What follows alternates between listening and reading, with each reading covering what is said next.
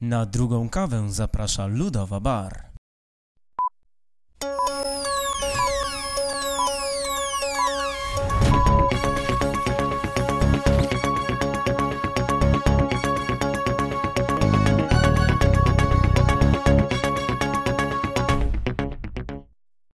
Dzień dobry, poniedziałkowej drugiej kawie witam Maciej Nowak. Moim gościem jest Mateusz Rewasiewicz, organizator, jeden z organizatorów y, Stolica Reggae Festival Kluczborku. Tak jest, witam, witam. serdecznie. Która to już edycja festiwalu? Siódma edycja. Już siódma? To już siódma edycja, no. Myślałem, że trzecia dopiero. No też te, strasznie szybko nam leci ten czas. Szybko Sami leci. jesteśmy w szoku, że, że to już siódma. Kiedy festiwal Reggae w Kluczborku się zaczyna? Już w ten piątek. Od 8 do 10 sierpnia na Stadionie Miejskim w Kluczborku. Czyli już, Czyli już za chwilę. Trzydniowa impreza. Dokładnie. E, Bilety wszystkie już się rozeszły, czy jeszcze jest szansa, żeby dostać jakieś? Jak najbardziej jest szansa. Jakby ktoś chciał, to zapraszamy do kasy. Festi- e, miejsce na festiwal jest, jest wielkie, więc e, biletów nie braknie na pewno. Mhm. Ile się już sprzedało i ilu gości się spodziewacie ewentualnie? No spodziewamy się, tak patrząc na, na, na zeszły rok, około 2000, 2000 ludzi, którzy się przewiną gdzieś tam w, w trakcie festiwalu. A sprzedało się, no, nie braknie, tak jak mówiłem. Nie, nie zabraknie. Nie Czy to jest tak, zabraknie. że co roku coraz więcej ludzi przyjeżdża do Tak, Kluczborka tak, na tak, ten na festiwal? pewno. Ten festiwal się rozwija? Yy, jak najbardziej. No, gdzieś tam słychać o nas coraz bardziej, przyjeżdżają zespoły z całego świata i, i zyskujemy trochę, trochę tą markę, popularność. Więc yy, coraz więcej ludzi gdzieś tam pocztą pantoflową się o nas dowiaduje. My też staramy się coraz, coraz szerzej wychodzić z promocją. I, I widać rozwój. Widać naprawdę, że coraz z roku na rok coraz yy, tych ludzi przyby, przybywa i mamy nadzieję, że będzie przybywać dalej. Przyjeżdżają ludzie tylko gdzieś z okolic Kluczborka? Nie, właśnie, właśnie zupełnie nie. Spotyka się ludzi z Gdańska, gdzieś tam z Białego Stoku czasami. Ostatnio e, nie spotkałem jej osobiście, ale gdzieś tam na, na jakimś wywiadzie dla, dla TVP Opole e, wypowiadała się dziewczyna z Izraela, więc e, O. no, nie mam pojęcia jak ona się tam znalazła, ale była. E, Czyli można powiedzieć, że jest to jak najbardziej międzynarodowy festiwal, jeśli chodzi o publiczność już też. No nie ma, no, nie, nie możemy też tutaj, tutaj wkręcić, że przyjeżdżają ludzie specjalnie z Anglii na nasz festiwal, bo, bo jesteśmy na razie rozwijającym się nie, niezbyt dużym festiwalem, ale, ale zdarza się, zda- zdarza się, że, że jest gdzieś tam to międzynarodowe towarzystwo. To jakie gwiazdy w tym roku wystąpią? W tym roku przede wszystkim Dub Pistols i Cornerstone Roots. Dub Pistols to jest e, legenda z Wielkiej Brytanii, która łączy elektronikę, dużo drum and bassu, e, hip-hopu z reggae. Strasznie energetyczne e, występy. To jest właśnie taki, taki znak rozpoznawczy, że, że nie da się wystać pod sceną.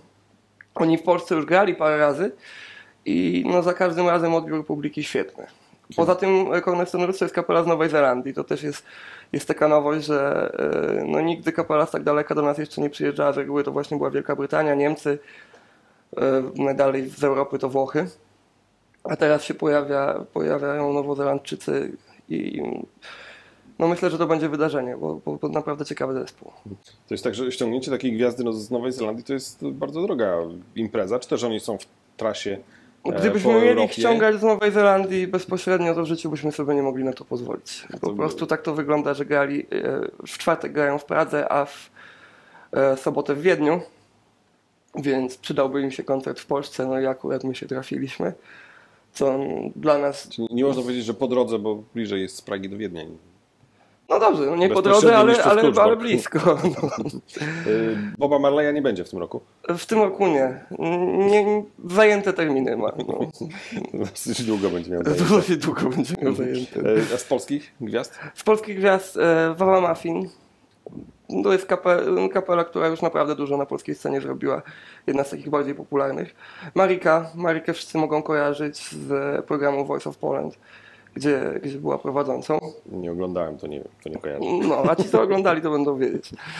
Ale to też jest e, jedna z takich artystek, która gdzieś tam wyszła, wyszła szerzej do ludzi w tym reggae, że nie jest znana tylko w środowisku regowym, tylko jej utwory są kojarzone przez, przez ludzi, którzy z reggae są zupełnie niezwiązani. A czemu nie zapraszacie, nie zapraszacie takiego znanego artysty reggae Bednarka? A może jeszcze zaprosimy. Ale to już tak od trzech lat mi obiecujecie i zawsze No to coś- trzeba zapytać za rok. No. Nie, e, no prawda jest taka, że w tym roku miało to być, ale gdzieś tam po drodze się nie dogadaliśmy. Nie udało się Nie udało dopiąć. się dopiąć. No. Aha, tam myślałem, że jakieś- tak celowo jest jakoś przez was bojkotowany Nie, jako nie, nie, nie, absolutnie. My wiemy, tak? że na Bednaka jest też dosyć duże zapotrzebowanie i, i chętnie byśmy go zaprosili, ale, ale akurat w tym roku się nie udało. No to może za rok. Może za rok. No. Ten festiwal jest zorganizowany przez Stowarzyszenie Artists Actiones i wy wszyscy jesteście wolontariuszami, czy zarabiacie Nie, duże nie, pieniądze wszyscy- na, na, na, tej, na tej imprezie? no kosmiczne.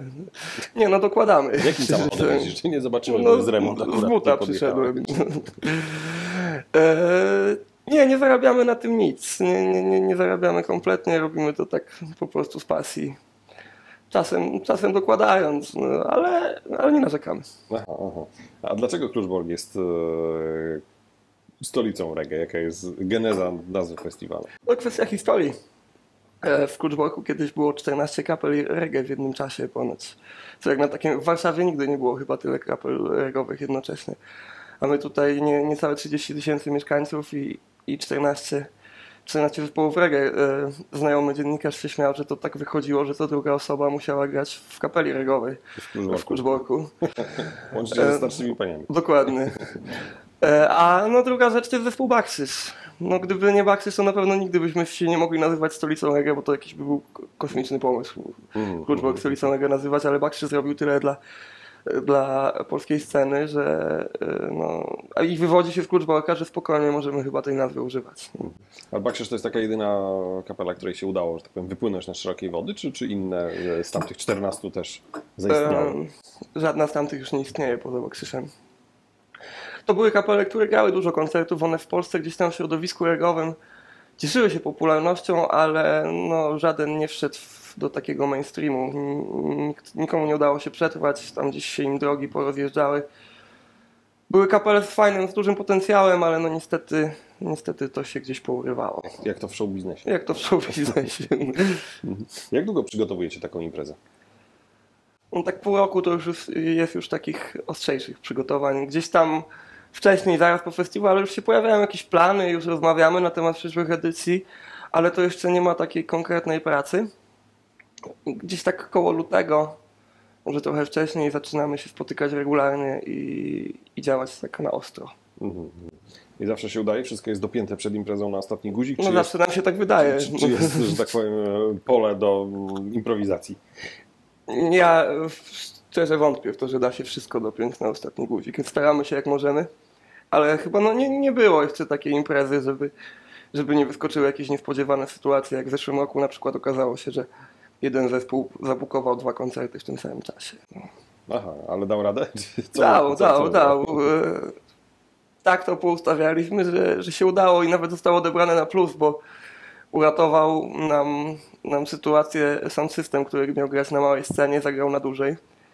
A ludziom się tak koncert spodobał, że, że to tak w sumie wyszło, jakby to tak miało być. No. Aha, czyli już tak powiem, publika nie, niekoniecznie musiała się zorientować w tym. Nie, no my, my ich informowaliśmy, nie udawaliśmy, że jest wszystko w porządku, ale, ale nie spotkaliśmy nikogo, kto był niezadowolony z tego powodu, bo koncert był naprawdę niezły. Dobrze, tegoroczny festiwal odbędzie się pod e, patronatem marszałka e, Buły, który Tak jest, jest. z Kluczborka. Marszałek będzie szalał pod sceną? Nie zapowiadał się, czy będzie, ale, ale no, mamy nadzieję. I to jeszcze macie kilka dni, jest zajęty teraz trochę. Macie kilka dni do piątku, żeby nad tym popracować. Dokładnie, musimy go jakoś zaciągnąć. Co, e, czego życzyć na festiwal, żeby... Frekwencji przede wszystkim, no i dobrej i zabawy dobrej ludziom. zabawy, no. Dobrej zabawy. E, Okej. Mateusz Żewasiewicz, e, jeden z organizatorów Stolica Reggae Festival w Kluczborku, był moim gościem w drugiej kawie. Dziękuję. Dziękuję bardzo.